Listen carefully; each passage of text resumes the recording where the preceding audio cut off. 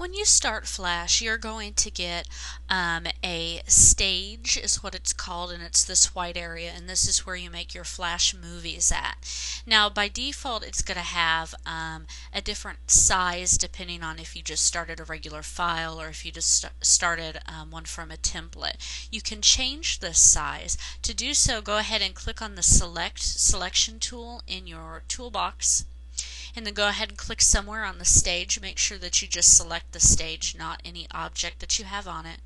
And then down here on properties, you're going to get a size button. Go ahead and click on that. And right here you can change the dimensions. You can change the width of the document. And then you can also change the height of the document. Click on the OK button and it's going to go ahead and it's going to resize your stage.